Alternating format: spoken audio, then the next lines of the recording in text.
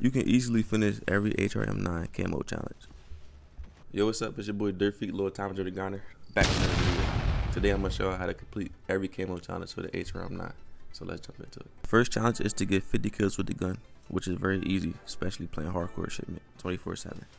The second challenge is 25 hip fires, very easy, just shooting without aiming. The third one is 10 sliding or crouching kills. I prefer crouching because you can move more tactical. Next is 10 kills while enemy affected by tactical. I just use a stun, throw it around the corner, and then sneak around the corner every time. For gold, you just need 10 kills without being damaged. So if you're playing hardcore, basically just 10 kills because if you get shot, you're gonna die anyway.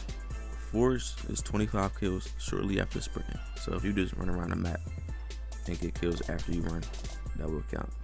The final challenge is 15 hip fire kills while sliding. So you just have to slide and shoot without aiming.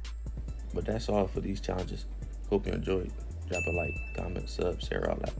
I'm out. Peace. I feel like the man, popping all these bands. Free out the can, free my dogs out the can. I said, I feel like the man, popping all these bands. Free out the can, free my dogs.